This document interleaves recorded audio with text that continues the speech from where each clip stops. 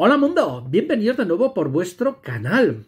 Voy a hablar nuevamente de Tesla y además un hito que ha conseguido uno de sus modelos completamente eléctricos que hasta la fecha no se había conseguido. ¿Y cuál ha sido este hito? Pues convertir a uno de sus modelos en nada más y nada menos en el vehículo más vendido del mundo durante el año 2023 y el honor se lo lleva, como ya bien sabéis, el Tesla Model Y.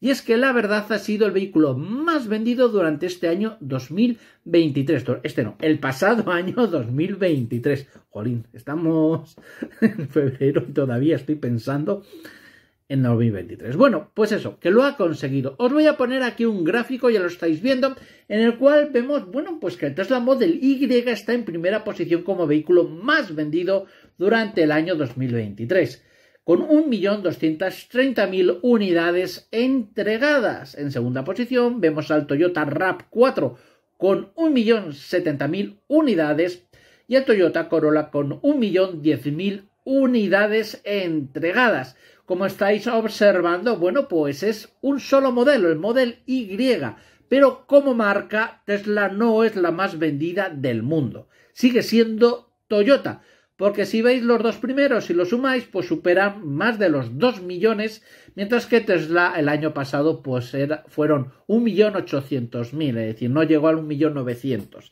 no llegó a los 2 millones. Y, y Toyota con estos dos, pues ya lo supera y si sumamos el resto de, de sus vehículos, pues ampliamente supera a Tesla como marca.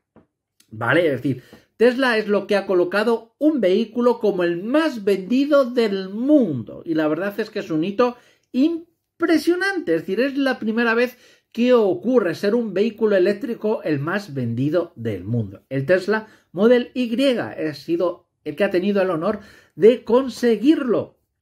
Oye, la verdad es que bastante bien. ¿Qué opináis y pensáis? Pues abajo, como siempre, en caja de comentarios. Y recordad que si puedo, pues mañana nos volvemos a ver.